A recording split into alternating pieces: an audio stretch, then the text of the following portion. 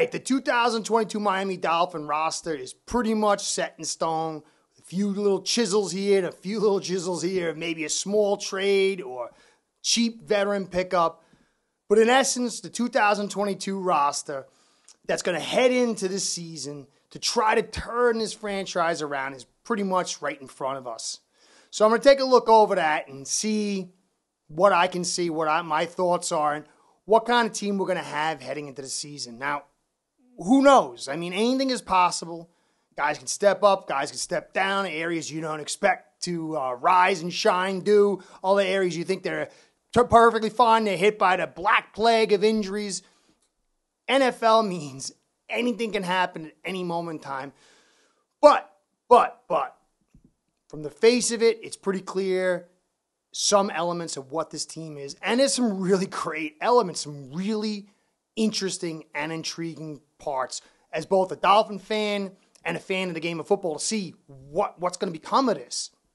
But there's other areas that are very clearly areas of a little bit of concern, especially if injuries come. Before I dig into all that stuff, I want to give a shout out to you guys for stopping by here. So many places to be.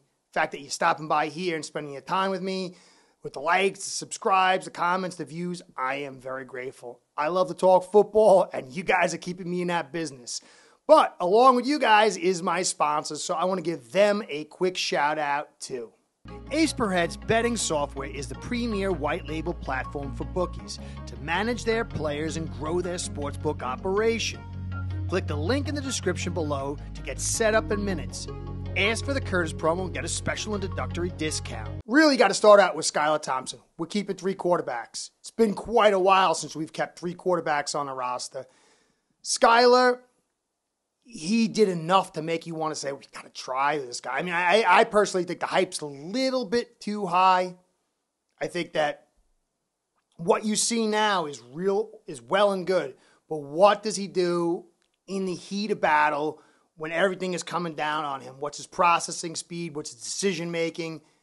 It's a big difference. But he's done everything possible to make me intrigued. I'm a little conservative kind of guy. So we had to keep him.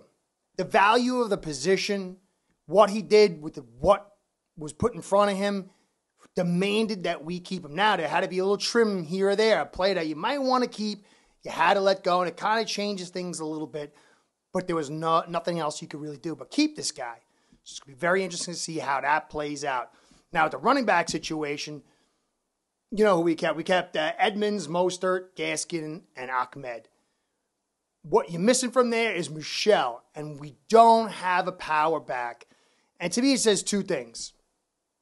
One, we don't got a power back, but two, I don't think that McDaniel believes that that style of play is going to mesh well with our offensive line. Our offensive line looks like it's going to have to be finesse and finagling and movement. We're not going to be able to get straight drive blocks and early reads at the line of scrimmage and ability to cut back hard and use that speed to get to the back door is what this offensive line's about. Now, that's all well and good, but when you get bad conditions or when you got to get that tough yardage for runs in short areas, you want a big back. And so that is a little concerning. But you could see how Edmonds, if you guys leave things open, he can make something happen. You can see Gaskin, all these other guys, they could do stuff. They have the ability, because they're smaller, to shift and to bounce back to different holes and gaps. But I still think we needed at least one power back. So it'll be interesting to see how that plays out. Now, as far as tight ends go, I think this is a very weak group. Gesicki is a good receiver slash B blocking tight end ish kind of guy, but we don't have a quality inline blocker who can catch the football and that kind of says to the defense, we know what this guy's to do. We know what this guy's to do, and we know what this guy can do. And Smythe is kind of a little bit of everything and a little bit of nothing. And Hunter Long, he hasn't done anything to, besides being drafted third or overall. And Cethan Carter is like the H-back guy, but I'm not really too high on him. So to me, this is a very thin group. I mean, Ingold, we kept Ingold too as far as the blocking. So it's going to be interesting to see how this plays out. Maybe Hunter Long develops. I don't know. But I think this could be an area of concern. we will see. Now, the offensive line to me is an area. I, there's a guy I read. I'm not going to say who he was. He, he is. I've been reading for a long time. Good guy. I'm sure he's a great guy. But I was very surprised at something he wrote. He said, We've got a solid group of offensive line with quality depth. To me, Armstead, Eichenberg, Williams, Hunt, Jackson, Deiter, Jones, and Greg Little does not scream quality depth. It does scream a solid unit, but with a question mark of concern at the end of that because Terron's coming off a major injury. He's had a decent, a fair amount of injuries. Eichenberg has yet to prove himself. He looked a little good last week at second string. stringers, but prior to that, lots of concerns. Connor has definitely picked up his snapping, and I really like him at that center spot. I think he's going to thrive, and that could be good for us both short and long term. Hunt is a good player, solid player. And then Jackson, he's a big concern. And indeed is a big concern as well. He can't play guard or center, and if he does, you got big problems. You're not going to be able to run the football. Jones, I kind of like what he's doing. I still got to do my tape on. I'm going to get that before the season kicks off. And Greg Little, I've seen so little of him except for last week. Uh, I mean, I don't know. He hasn't been successful on a pro level yet. He looked okay. He looked better than what we had over at left uh, tackle, but it's not like I'm jumping for joy. So I don't really see this as solid depth. It's concerning. We let Kindley go. Uh, and so, I don't know. To me, hopefully we get one more vet in here and move one of these guys off. I definitely think we need one more real vet, but it's really hard to find him at this stage. Maybe uh, backup center. I mean, I don't know. It's a little concerning. I just don't see us being a be able to drive block. I see us having clear weaknesses. The team's going to be able to say, okay, I know what this guy can't do, and I know what this guy can't do. I'm going to be able to attack and understand that the Dolphins offense is going to have to cover him up for this or that. It does leave me a little concerned. Now, little surprised the back uh, on the receiver part I forgot to mention. Bowden and Williams are gone. Kinley, I thought Kinley was pretty decent. I don't think I would have kept him, but those three were the odd you know departures. I kind of knew Williams was going to go. Kind of thought Kinley was going to go. Bowden, I wish we kept, and I think Bowden was the spot that was lost for Skylar, but we had to keep him. So overall, I like this offense in certain ways because I think we're going to be able to really put yards on. I think we're going to be able to really tax defenses. My concern is are we going to be able to put points on especially when you get into that red zone. Because when you get to that red zone, some of that speed doesn't really help you as much as when you're in the other areas. And can we run the football? I mean, I think we're going to be able to do stuff as far as movement and and and and, and blocking at angles and all this. But it's going to come down to bad weather games. There's going to be some bad weather games. You're going to have to use your power and drive, and a lot of finesse gets taken away in the bad weather. There's going to be certain short down situations can we win those situations? It's going to be very, very interesting. I really, I don't know what to make of it. I have yet to see Waddle and Hill. I mean, this could be an explosion of offense like we haven't seen in a long time, or we could find ourselves putting lots of yards on and not enough points. I don't know. I'm really excited to find out. I really am. Now, on defense, we pretty much understand what's going on. Big problem, obviously, with Byron Jones being out for the first four games, leading, leaving Needham as the boundary corner. Overall, the defense looks really good except for the cornerback spot. You know, still wondering how Jaelan Phillips will handle the run. Looks like Van Ginkel might be out for a game or two because he had appendectomy. So that means Ingram's going to step in. In addition to Trey Flowers, I really, really like. We got guys to get after dudes. If we're getting ahead and they're having a pass to catch up to us, it's going to be very difficult for them to stop all these pass rushers, yet and Baker and everybody else. Still a little thin. I mean, we got Wilkins, Davis, Ogbah, Sieler, and Jenkins. Now, I like the depth there, but I don't, I'm really concerned about Davis if he goes down. But it's pretty tight, pretty strong unit. Edge guys are tight. Just worry about some of the edge players' ability to stop the run and the linebackers.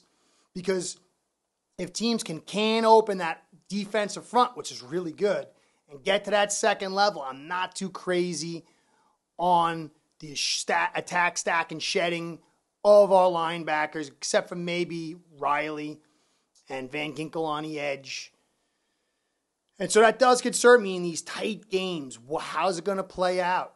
I mean, but again, with Waddle and Hill, maybe we won't have tight games as much, you know. But those that ability to stop the run, ability to handle blockers on the second level is going to be very interesting. But again, it comes back to the corner. We are so thin at corner. I mean, Byron Jones comes back. When he comes back, if he's healthy, Howard could stay healthy, Needham can stay healthy. We've got enough behind them with Holland and Rowe and Jones to kind of protect it, but Ed sec those corners, especially the boundary corners, are very thin. Crossen and Kohou, that's one of our main guys go down. It's going to be a long ride. And it's going to be very hard for us for those first four games to really run our zero, a full defense the way we want with Needham outside, especially, you know, week one. Patriots, they've got some depth at receiver, and they're going to try to get Parker over on Needham. Can Needham really stop Parker? I don't know. It's going to be very, very interesting. Overall, this this entire team, if they can put points on, play from the lead, and attack with their blitzes with that zero, and we got Jones and, and, and Howard in and Needham, it's going to be very tough to beat in good weather and semi bad weather, even. But can we play those dirty weather games? Can we be physical enough in those few moments where we're going to need to be to get us through? I don't know. Can we keep the injury bug off us on the offensive line at the cornerback position? I don't know. Maybe it's happened. It's not like, oh, we're definitely going to get injuries on the offensive line. We're definitely going to get injuries in the cornerback. These guys could play healthy all year. But it's going to be a little bit of luck. It's going to be very, very interesting season. To me, we tried the very finesse style offense. We had a very finesse style defense and offense with Dan Marino playing in these East Coast games, Northeast games, and sometimes we could do it, sometimes we couldn't. It, it worries me that we're not balanced. If we can get home field advantage throughout, now that's a different story. It's going to be, but this is going to be one. I don't even know what. I really can't say what I think is going to happen. I do think this is going to be a tight ride between the Patriots and the Dolphins for second in division, but we must take second in the division. We must get a playoff spot for all the expenditures we have. It has to happen, especially with the loss of the first and the third from the whole scenario that went on in the offseason. But Skylar, keeping Skylar was good. There's a lot of potential here. But I kind of feel like we're a German made sports car. It's going to look really good when everything is pristine and on fire, but a little bit of dirt here and there, and we might start getting some clunky action going down. But I don't know. We'll see. This week one game, though, is going to tell us a lot, and I don't think it's going to be a blowout like a lot of people are saying. I've kind of pulled back a little bit. The Patriots seem to have been missing some stuff early on, but I don't think it's as much as everyone's saying. I definitely think the Dolphins are going to put lots of yards on. Can they put points? Can they get this one out? Going to be very interesting. I think the Patriots are definitely going to be neck and neck on us with for the season, and I think it's going to come down to a game or two. If we can get that game or two and get into the postseason, all this will be worth it, and we'll be finally headed in the right direction and not having to talk about next year. But we're going to see. This is Curtis saying thanks for staying to the end. Just a little overview of what we got here. Gonna have to dig in deep. We're gonna do some film. Gonna get some film. Still recovering from the big C. Not an easy ride for this guy this time around. Anyway, thank you. I'm gonna try to get to the comments, but I'm just really underpowered and I'm trying to get to them. So please forgive me. I'm, i will get to them. But uh, thanks for stopping by. As Curtis saying, catch you next time. Be well. Go Fins. Start building your own online sports book today by getting signed up with AcePerHead.com service that'll allow you to book action on sports from all around the world.